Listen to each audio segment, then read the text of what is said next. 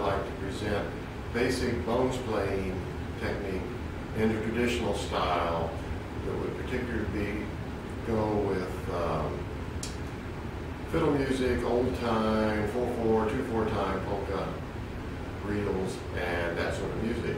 Bones are a uh, ancient instrument that has been found in uh, cultures all around the world going back thousands of years. Originally they were made from rib bones of a cow. Uh, the ones I'm playing are made from wood, from yellow pine.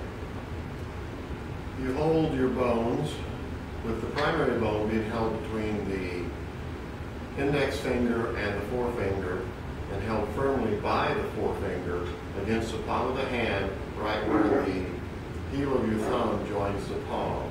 The secondary bone is held between the forefinger and the ring finger, and it's held more loosely so that it can move. And it's the movement of the secondary bone against the firmly held one that makes the sound.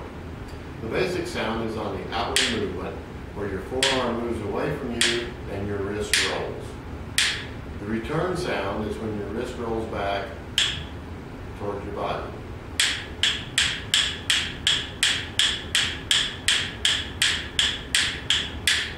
When I'm playing I do the primary rhythm of the music in my left hand so that the outward movement is the downbeat and the inward movement is the offbeat.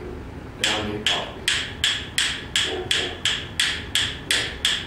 I'll often keep that rhythm also with my feet so that my heel is the downbeat.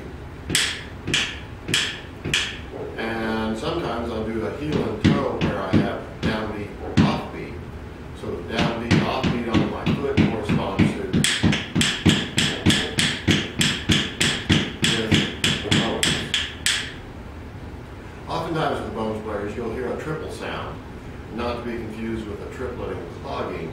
It's a bounce between the outward movement and the inward movement.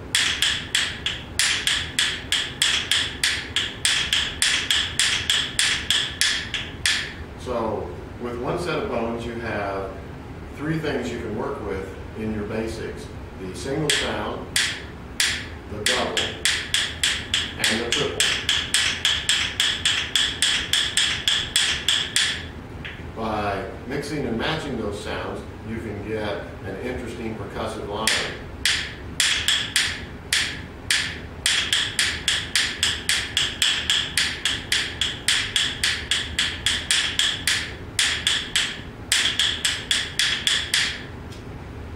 So, so far we haven't talked about the other set of bones, which is I'm holding in my right hand. It's somewhat shorter than the set in my left hand, so that it'll have a different tone, which adds interest.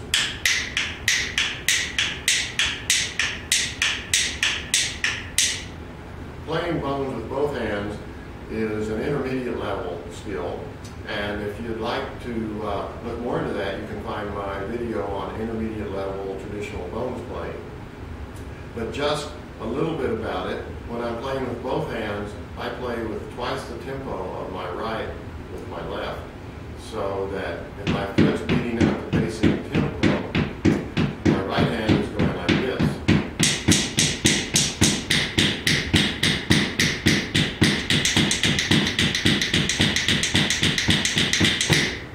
Well, thank you for your time in watching this video. I hope it's been helpful. And good luck with your bones playing.